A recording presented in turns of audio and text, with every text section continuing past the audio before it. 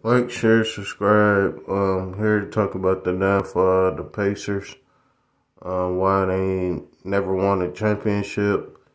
Um, it's the basis of uh, running to the Lakers, the Pistons in the early um 2000s. Uh,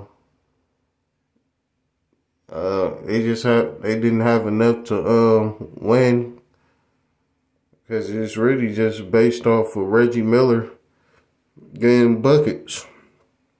And let's get to today's um, um, franchise that they have with the players on their team now is they traded their superstar Paul, Paul George and got um, somewhat a potential star, but he didn't fall out, pan out like they wanted to because they ended up sending him off because um, he got injured. And uh, and then they traded the um, power forward to the Kings that was getting them to the playoffs. Uh, I didn't understand that trade. I guess they feel he had potential to lead them to championship, but he's an all star. And now they just got Miles Turner and some um, role players, even though um, Miles Turner, he's not a star. I don't think he's a star.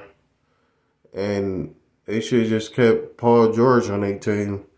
And even though um, they still made it to the playoffs, but they, I feel they had the best um, chance to make it to the finals if they kept Paul George. They in the East.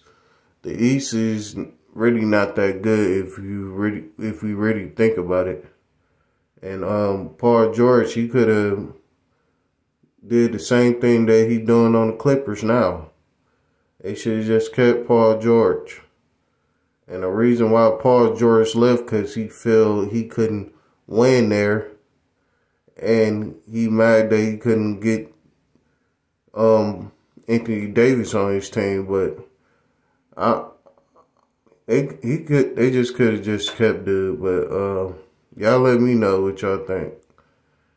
And um, like, share, subscribe, and I'm out.